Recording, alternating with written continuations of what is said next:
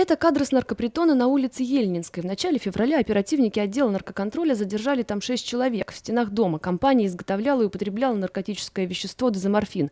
А это уже притон на улице Ленина. Там полицейские задержали четверых. Тоже совершали наркопреступления. Как говорят в МВД, работа по выявлению таких вот злачных квартир ведется постоянно.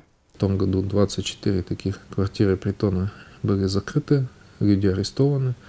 В этом году пока три, но у нас очень много уделяется внимания сейчас этой проблеме. За организацию наркопритона предусмотрена ответственность по 232 статье Уголовного кодекса до 4 лет лишения свободы. Если же притон групповой, то есть не один человек его организовал, там уже до 6 лет лишения свободы.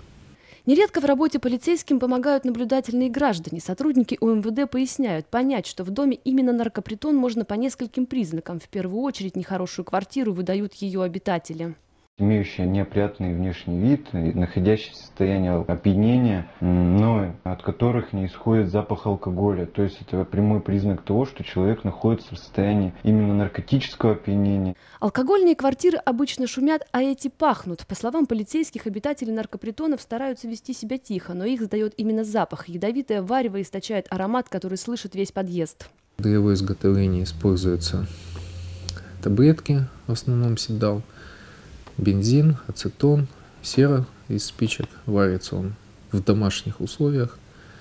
И потом уже дозы распределяются по шприцам, вкалывается внутривенно. Приготовленный из такой вот смеси наркотик оказывает уничтожающее воздействие на организм имеет э, большой разрушающий эффект для организма. Человек, употребляющий данный наркотик, начинает, буквально говоря, гнить изнутри. Продолжительность жизни в среднем составляет 3-4 года. На данный момент уже есть и с 18 лет до 23 лет. Контингент употребляющих дезоморфин очень сильно помолодел.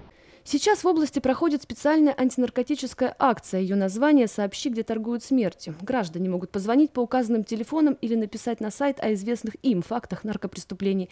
Также непосредственно в наркологических диспансерах могут получить консультацию о лечении страшной зависимости.